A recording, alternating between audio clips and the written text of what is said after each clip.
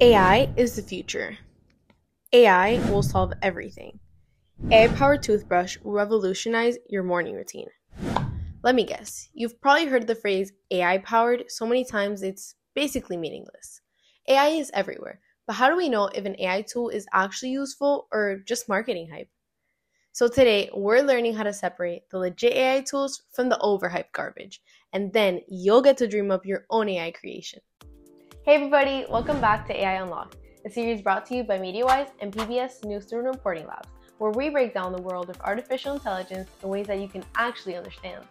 First up, how do we evaluate these so-called AI tools? Check out this new app, AI-powered homework helper. Sounds amazing, right? But wait, is it actually good? Here's some things that you can do to find out. First, who's behind this thing? Is it made by an established tech company with AI expertise? A random developer who watched one YouTube tutorial? Or worse, is it possible to even figure out who created this? We found this homework helper AI tool, and while they do state the name of the company that produces it, it's based in Australia. So it's hard to tell if this tool would meet the right educational standards if you're maybe studying in a different country. And pro tip, if a company won't tell you who they are, they're probably hoping you won't look too closely at what they're doing with your data. Second, what's the cost? Is it free, freemium, or premium. Unless it's offered by a legit nonprofit educational group, if something's not totally free, you are probably the product. And remember, your data is valuable. Third, privacy check. What data does this tool collect? Where does it go? And can you even delete it? If the privacy policy is as long as one of your history teacher's lectures, that's a red flag to watch out for. Fourth, is it reliable? Does it actually work as advertised? Check reviews from real users not just the five-star ones that the company cherry-picked. And finally, does it comply with your school's tech policies? Because remember, even the coolest AI tool in the world won't help if using it gets you in trouble. Now for the fun part, taking AI to its limits. When you're testing an AI tool, don't just accept whatever it gives you. Challenge it. So if ChatGPT tells you that George Washington had a pet dinosaur, call it out. Or if an image generator gives you a person with six fingers, point it out. Remember, AI isn't some all-knowing digital god. It's just a tool built by humans to recognize patterns and give a response. And it makes mistakes, lots of them.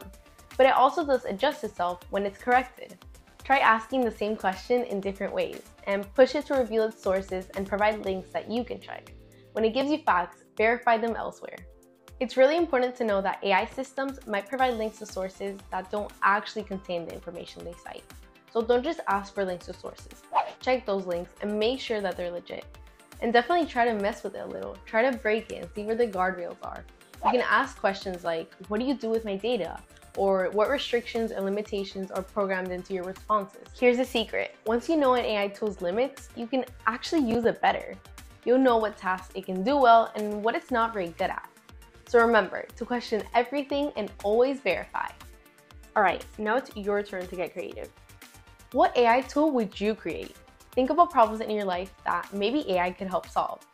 Maybe it's an AI study buddy that organizes your homework based on due dates, or a music composer that helps you create original tracks for your videos, or even an AI fashion assistant that helps you shop sustainably. Okay, okay, here's my idea. What about an AI tool that scans your entire fridge, tells you what meals you can make with what you have, and factors in your family's dietary restrictions? There's gonna be no more there's nothing to eat moments. Now it's your turn. Take five minutes to brainstorm your own AI tool idea. Think about what problems does it solve, who would use it, what data would it need, and how would you make sure it's ethical?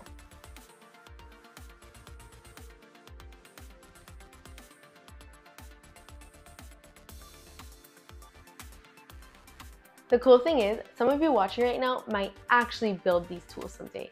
The future of AI isn't just about what big tech companies create. It's about what you decide AI should be used for. So go ahead, question the AI hype, push these tools to their limits, and then imagine something better. Because being skeptical doesn't mean ignoring new technology. It means being smart with it.